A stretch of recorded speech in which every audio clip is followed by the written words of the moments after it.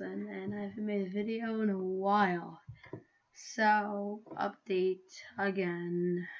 Um, I have a website up now. It takes you to one of the websites that I go on to get my farm simulator, farm simulator mods, but I don't really understand. Like, I got the website down and everything, but I don't know how to use it. It's Weebly. I don't know if you guys could tell me how. And yeah, I'm gonna try to make a video this weekend. It was just my birthday on May 4th. Yeah.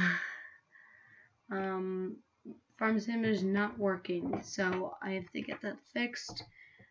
And we're gonna do um, a new series, and I'm not kidding about this. We're gonna do like a woodworking and bring my get a camera or something, bring it out, and I'll show you like woodworking and stuff like that. Yeah. Okay, that's all I want to say. See ya.